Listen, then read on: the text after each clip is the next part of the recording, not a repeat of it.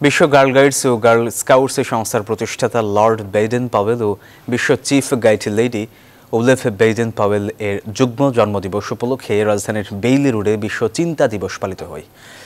Bangladesh girl guides association এর জাতীয় কার্যালয় রাজধানী অঞ্চলের যৌথ উদ্যোগে আয়োজিত অনুষ্ঠানে প্রধান অতিথি ছিলেন বাংলাদেশ গার্ল গাইডস অ্যাসোসিয়েশনের সিনিয়র সচিব জুয়েনা আজিজ। বাংলাদেশ গার্ল গাইডস অ্যাসোসিয়েশনের জাতীয় কমিশনার কাজী জেবুন্নেসা বেগম অনুষ্ঠানে সভাপতিত্ব করেন। অনুষ্ঠানে শুভেচ্ছা বক্তব্য দেন ডেপুটি জাতীয় কমিশনার সাবিনা ফিরদৌস ও স্বাগত বক্তব্য দেন প্রফেসর ডক্টর ইয়াসমিন আহমেদ।